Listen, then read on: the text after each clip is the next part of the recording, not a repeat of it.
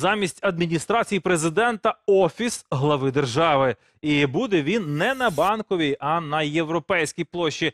Володимир Зеленський підписав указ про реорганізацію адміністрації, а його команда сьогодні оприлюднила ролик, в якому показує, куди реформована структура переїде. Однак, як відомо, від перестановки доданків сума не змінюється. Головне, чи зміниться робота адміністрації, секретаріату та офісу. Назву переінакшували вже кілька разів. Майже сотня тисяч переглядів за день. Стільки людей подивилися ролик, де президентові Зеленському демонструють місце, куди він зможе переїхати і перевести усю адміністрацію, чи то по-новому офіс президента. А ви були тут? Днями глава держави скаржився журналістам, що йому зле у монументальних стінах адміністрації, що йому не потрібні персональні перукарні. Можна ж душ дома прийти. Усі вимоги президента архітектори готові втілити в українському домі. Саме перероблену цю будівлю на макеті у ролику й демонструють Зеленському. Тобто адміністрація розташується.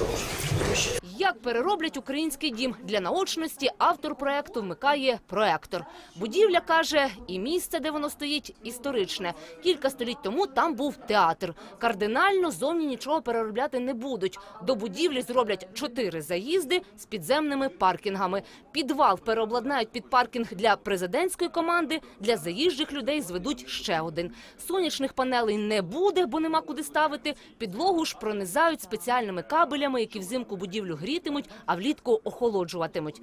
Це все буде робитися завдяки тепловим насосам. Будівля буде завжди в одній той тій же температурному режимі, в одному і тому ж тій же самій вологості. Перший поверх буде відкритим для людей. Офіс президента розміститься на третьому, четвертому і п'ятому поверхах. Президентські апартаменти будуть на четвертому з видом на європейську площу.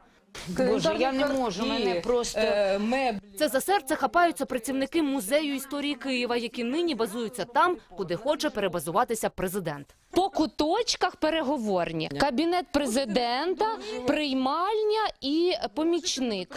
У музеї стверджують, що з ними про переїзд ще ніхто не говорив. А якщо й запропонують прийнятне місце для переселення, то їм усе правильно запакувати і перевести часу треба з рік.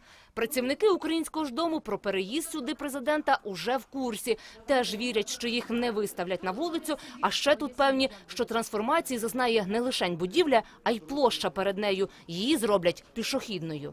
Якщо не буде пішохідна зона, то в принципі тут офіс не може бути президента, тому що техніка безпеки є критична і любі пробки можна зайти і в принципі ліквідувати того ж президента. Чи перекриють європейську площу для машин? Автори проекту не знають. Людей, що ходять перед українським домом, кажуть, намалювали для антуражу. Коли ж перший трактор приїде рити під український дім, теж ще не прогнозують. Загалом на реалізацію намальованого у життя попередньо їм дали з півроку часу. Вартість робіт обійдеться біля 300 мільйонів гривень. У команді президента запевнили, що з бюджету не витратять ні копійки. Інна Боднер, Дмитро Панасенко, спецкор 2+,2.